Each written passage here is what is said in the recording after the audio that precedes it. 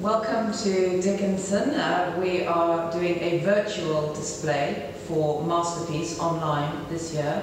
Uh, we're trying to recreate the stand as it would be at the fair, but of course the real life fair cannot happen.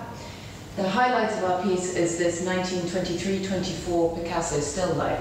Marvellous example of his later Cubist style re reinvestigated and looking at fantastic texture.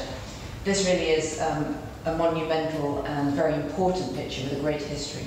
We then scan round to this whole wall of Juan Gris presentation. Uh, of course, the best example here is from 1916, this still life, which exemplifies the confetti cubist style and also has a great uh, provenance being previously owned by Muriel Steinberg Newman. We have another oil painting later by Juan Gris, also uh, cubist, nearly 10 years later, and a couple of drawings here that he did. This particular example from 1911 is very typical in subject and the cubist handling.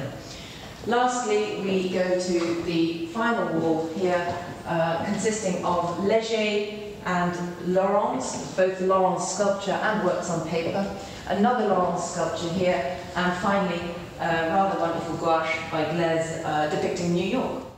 So continuing our virtual tour of our masterpiece stand, we now welcome you to the Old Master section, which is inspired by artist travels and is titled Shared Horizons. Here we have this fabulous painting by Vernet, a French artist, but here he depicts an Italian scene. It's in fact the port of Genoa.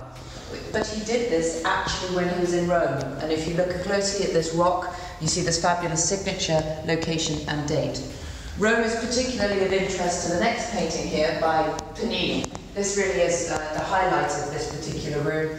In fact, it depicts the Pantheon in Rome and the marvellous lighting of the oculus coming down through the top. The entire scene is exactly as it would be today. The only difference is that people are slightly differently dressed now.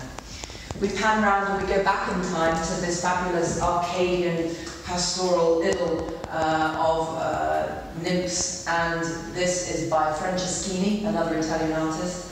And lastly, we end up back with Vernet, but this time he's doing the French coast. Whilst we can't necessarily invite you to come and visit us at the art fair in person this year, we'd be delighted if you would visit us by appointment either in the gallery or virtually. And if you would like further information about any of the artworks or close-up videos and photography, we'd be delighted to help, so just let us know.